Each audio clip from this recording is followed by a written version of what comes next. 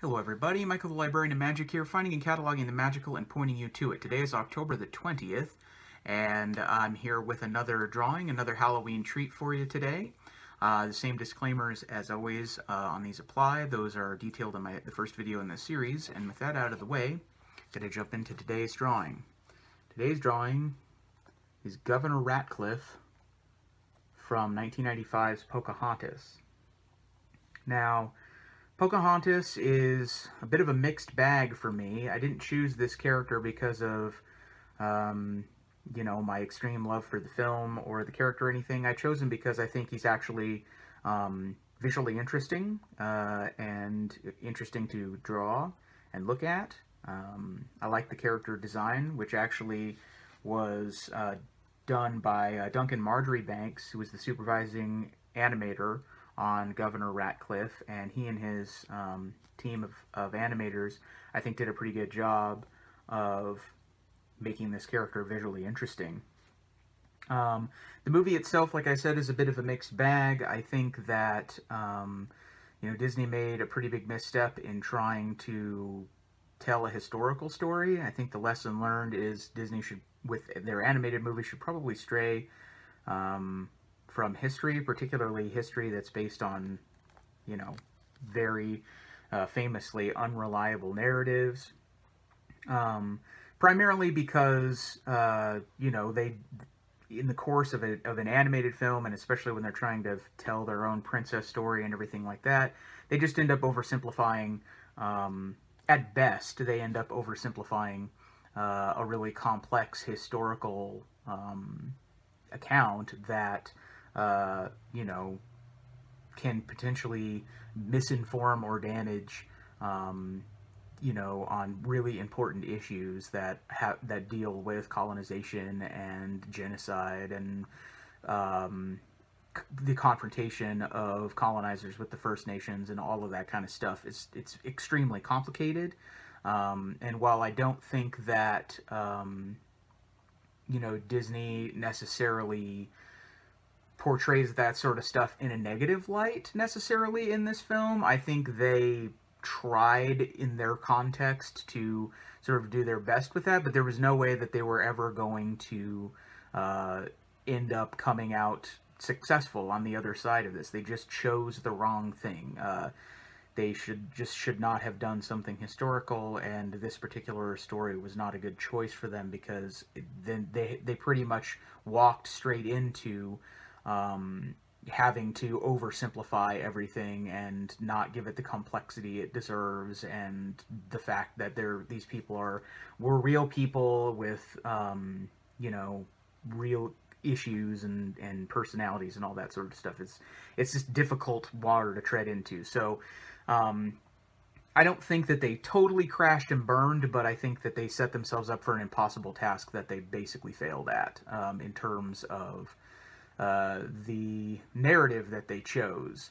That being said, I do think there are things to recommend this movie. I think it's visually interesting. I think the animating teams, this was at the tail end of what's known as the Disney Renaissance, and I think the animated animating teams at that point were pretty much at the top of their game uh, in terms of um, their style, and I think that this is a very visually interesting movie um, and pleasant to look at.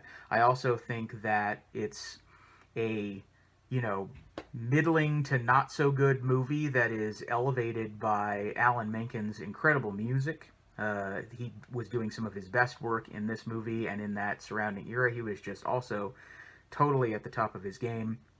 And his music, I think, elevates this movie from being maybe not so great to being okay, uh, which is why it ends up being a mixed bag because there's a lot um, to recommend about this movie and really an, a, a lot of problems. So, um, it, like I say, it's a pretty, a pretty mixed bag. I'm not totally down on it. There's a lot of things I like about it, but it's, it's hard for me to say that it's great by any stretch.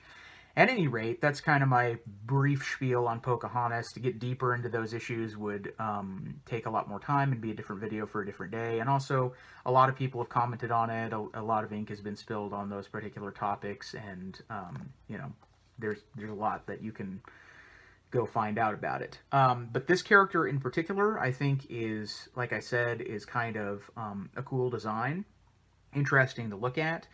Um, as a character, he was loosely based on historical figures himself. There was a person named John Ratcliffe who was not actually involved in, um, you know, John Smith's time. He was somebody who was in England. He's also somewhat based on uh, Gilles de Rais, who was a French uh, person, and, you know, they sort of just loosely combine the looks and stuff of those historical people. And like I said, they they really weren't even doing justice to the complexity of the colonizers, let alone the colonized uh, in this film. So anyway, that's sort of the loose the loose basing. But after that, you know, where they sort of went on their own, he's lazy, self-indulgent, he's greedy, he's a little bit of a dandy with the way that he's got his pigtails and cape and all of that stuff.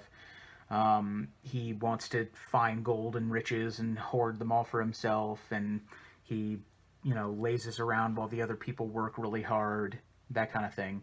Uh, he's a little bit like Claude Frollo from The Hunchback of Notre Dame in that uh, he believes that he's doing what is right, which is one sort of small aspect in which they get, um, in which Disney sort of gets colonial narratives a little correct, in which, um, you know, a lot of these colonizers thought that they were doing things for their country and for their crown and for their king and all of that stuff, and that they had a, a, a manifest right to do that, that they had a God-given right to do that, and so on. And that is expressed a bit in the film. Um, obviously, it's they don't really do full justice to it, but that's kind of the idea behind it. He's not nearly as well defined or well drawn of a character as Claude Frollo. That's kind of where the similarities end, but he does have that aspect of sort of believing that he's right and being unaware that he is a horrible human being and doing bad things. Um, he can be seen somewhat in the Florida parks at Disney. He's not super um, available all the time. He's a little rare, but he is in the uh, Disney Hollywood Studios version of Fantasmic. There's a segment of that which features Pocahontas, essentially, and that the somewhat of the story of Pocahontas, and Ratcliffe is involved in that. Um, so he can be seen from time to time down there, but he's pretty rare. Um, he was voiced by David Ogden Stiers, who was a brilliant actor. We uh, he unfortunately passed in 2018, but before he did, he had um, a very uh, known career. Most people probably know him as Major Winchester in TV's MASH. Uh, he was well known for that role, but he had a lot of voice roles, particularly with Disney. He voiced both Ratcliffe and Wiggins in Pocahontas. He was the voice of uh, Dr. Jumba Jookiba in Lilo and Stitch, the Lilo and Stitch series. He was Fenton Q. Harcourt in Atlantis the Lost Empire. He actually voiced the Archdeacon in The Hunchback of Notre Dame. And he was the voice of both the narrator and Cogsworth in Beauty and the Beast. Uh, fans of Cartoon Network's regular show will recognize him as the voice of Mr. Maillard. So he had quite uh, a voiceover career. He worked with Disney quite a bit um, throughout the Disney Renaissance and stuff like that. And like I said, a lot of people will definitely recognize him um, at, for his role in MASH. So he was a really uh, great talent that uh, helped bring this role and many, many others to life. So from that aspect, from the voicing aspect and the character design, uh, I think he is an interesting character. As far as, you know, the script problems, you know, it, Pocahontas isn't the greatest. Um, so there you have it. Governor Ratcliffe from Pocahontas. I think he's a pretty cool um, design, and I'm happy with the way the drawing turned out. Essentially, that's why I chose him. So, I hope you found that interesting. I hope you liked it, um, and that, you know, you learned some stuff here about the character and the film and everything like that. Thanks as always for liking, commenting, and subscribing. Thanks for following me throughout the month of October. I hope this was a nice little spot in your day to think about some Disney characters or think about some of these things more critically in a way that you probably haven't before. That's definitely what I'm doing. They're, you know, learning more and trying to um, develop my views and opinions on these things and my understanding of them and animation history. It's just one of those things I'm fascinated with and learning all the time about, and I hope that you are too. So, thanks as always for joining me on these. I'll be back tomorrow with another Halloween drawing, another Halloween treat. And until then, take care. I hope you're having a great one. Bye-bye.